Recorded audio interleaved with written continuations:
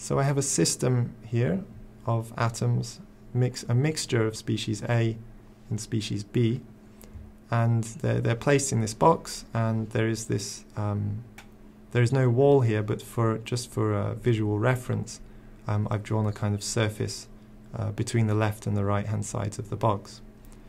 Now, um, we, we can see from, from visual inspe inspection that the density of species A on the left is greater than the density of species A on the right. So th this is the, this, the, the, the state of the system at some time. We're going to say time t equals 0. Now if we wait a very long time, let's just say t equals infinity for argument's sake, then we can expect that the density of species A on the left will become more or less the same as, as the density of species A on the right. Now the reason behind that can be described um, thermodynamically in terms of entropy. Um, as a very qualitative brief explanation, you can imagine that we have a very ordered system here because we have more atoms of species A on the left than on the right. And the system over time will always try to increase its entropy. That is to say that it will try to become more disordered. And so if we wait a long enough time, the, the system will, will ma maximize its entropy and we will have a, a, greater mixture, a more disorder of species um, A and B in the box. And so then there will be roughly the same number or the same density um, in, of species A on the left and on the right. And of course, each atom of species A has the same mass, and so we can say that the number of atoms of species A on the left and the right will be roughly the same. Now, in order for this to occur, species A is going to have to move, some of the atoms of species A are going to have to traverse this, this surface here from left to right. And this, this movement of the atoms is happening under um, something that, that we can term diffusion.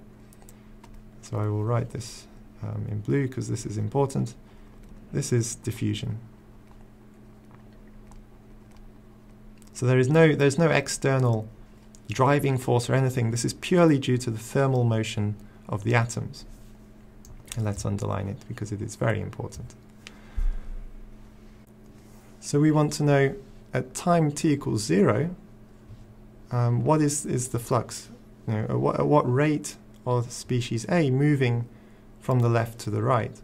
So let's denote the flux through this surface here, this blue surface, as, as uh, J. So we'll do JA, um, and this will give this units of um, kilograms per uh, square meter because it's you know passing through this area.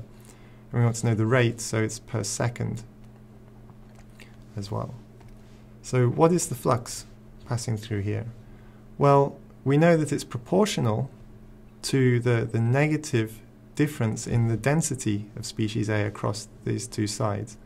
And I'm going to write this in terms of a gradient. Um, we have a very binary description here, but um, what is uh, more general is, is a um, description in terms of gradient. So there's this difference in the density of species A along this axis. Let's call this axis axis Z here, so the Z direction. So it's the the gradient of the density difference, the, the gradient of the density in the direction of species Z.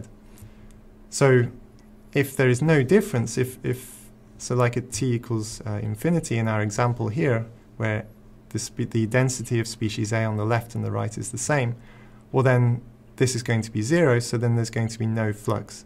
And what you have to remember, of course, is that this is the net flux of species A. So we could have an atom uh, of species A passing through in this direction, but just as equally likely would be a movement of species A, um, an atom of species A in this direction. So that the net flux over a reasonably um, a, reasonably long time would, would be on average zero if, if there is no difference in density. Now we can write this, um, this is in terms of density, but we can also do this in terms of mass fraction. we know that the mass fraction of species A is given by this ratio, right? This, this ratio of the density of species A over the system density. Um, and so let's rewrite this, the, the density of species A in terms of mass fraction of species A here. So again, if we write this, um, the, uh, the flux of species A across this surface, this is then proportional to um, just substituting this in here.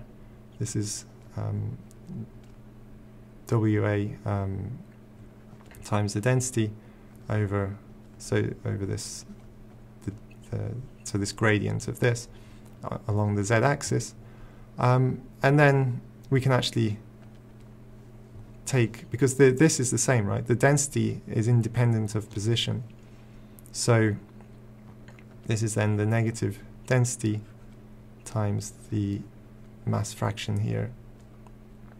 Um, the gradient of this mass fraction on, along the z-axis. And then we can get rid of this proportionality by substituting in some sort of proportionality constant. So this flux is then equal to um, this proportionality constant, d, which depends on both species A and B, um, multiplied by the density, multiplied by the gradient of the um, mass fraction. And to, to write this more, so th this is actually, this should actually be like, it's in the z direction, right? The flux of A in the z direction. But to more generally speaking, um, in general, the mass, the, um, the, the flux of species A um, in, in any, any direction is the this proportionality constant multiplied by the density multiplied by the gradient of the mass fraction in any direction. Now, this proportionality constant is uh, the diffusion coefficient. So I shall just highlight this here. So this is the diffusion coefficient. And this depends on the, the characteristics of uh, species A and species B. Coefficient.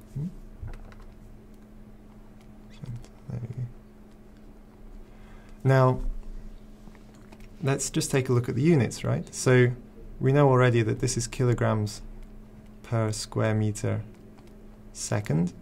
Um, and then we have here kilograms per cubic meter. Actually, let's write this Let's just write this down here. Sorry about that. So this is kilograms per cubic meter. And this is, well, it's, it's the gradient of mass fraction, so this is um, per meter, right? So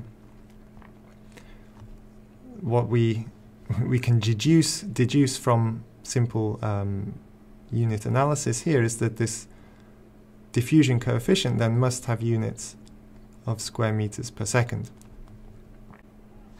And this is commonly commonly referred to this uh, equation here. Actually, let's write it in, uh, just put it in a different color. So this equation here is more commonly, commonly known as uh, Fick's law, or Fick's law of diffusion, or sometimes Fick's first law, depending on, on what book you're reading. Let's call this Fick's law of diffusion.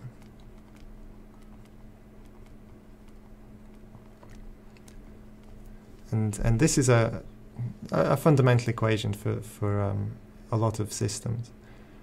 Now I've described this in terms of um, the flux in terms of kilograms per square meter, but I just want to mention that um, we can also describe this um, in terms of uh, kilomoles per square meter. So if I make this capital J, um, this is equal to these uh, units then are kilomoles kilomoles per square meter per second and then this is then equal to this diffusion coefficient again so this doesn't change but then we're describing this in terms of um, the, the molar density and the molar um, the, the molar gradient in terms of position. So, as a reminder, this is then uh, kilomoles per uh, per cubic meter, and then the units of the diffusion coefficient and um, although it's measuring something different, the the the, the uh, molar fraction gradient, the, the the units, the final units don't change. But of course, this is measuring something slightly different to this here, right?